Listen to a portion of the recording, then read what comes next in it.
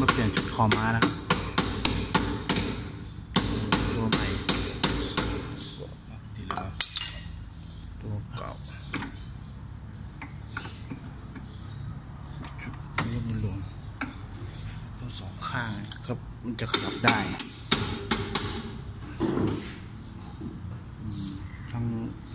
แหวนอ่าแหวนรับหนักแล้วก็จุด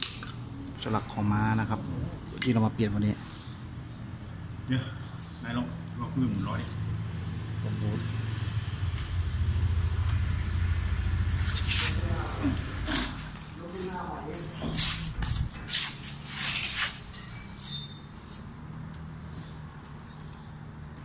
ดีเลยครับดีเลยเลยแล้วตรงมาเลย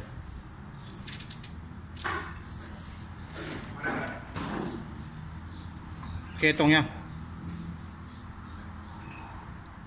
นี่ครับ เวลาใส่ครับ ต้องให้ล้อตรงนะครับ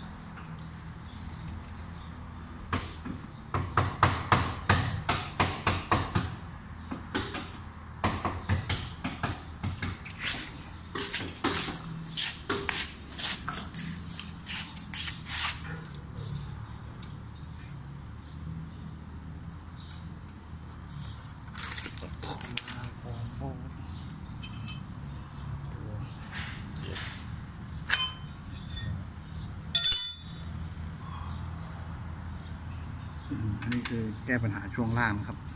ช่วงล่างมันจะส่งผลถึงยาง ยางจะกินไม่เท่ากัน